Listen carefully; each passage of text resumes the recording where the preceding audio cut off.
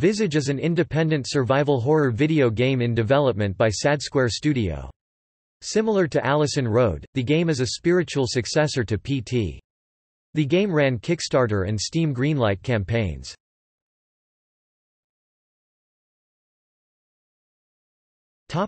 Gameplay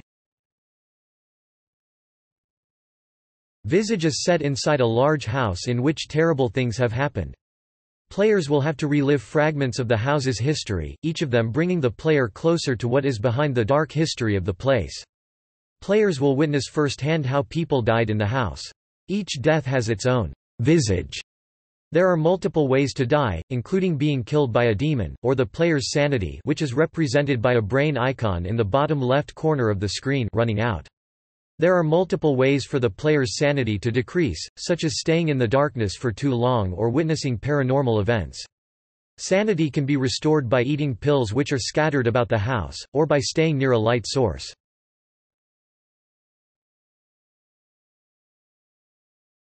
Plot The game takes place during the 1980s in a centuries-old house in a secluded town. Over the years, the property has been occupied by dozens of families. While some lived peacefully, others were brutally killed under various circumstances. As the protagonist proceeds through the environment, he gathers information regarding the killings firsthand, using it to piece together the history of the house.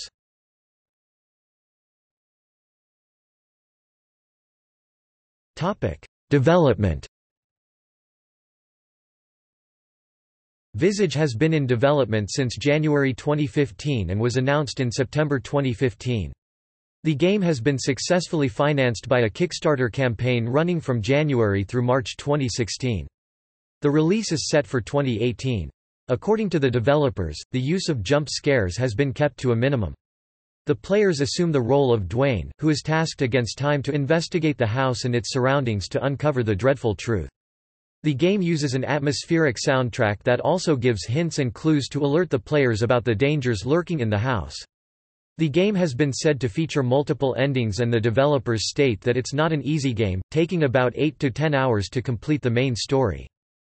As of September 12, 2018 SAD Square Studio announced on their Facebook page that we aim to release a playable version of the game this month on PC. A delay is very unlikely, but still possible. We'll let you know as soon as we know. On September 25, 2018 SAD Square Studio announced that the demo for Visage will be released on Steam on October 2, 2018.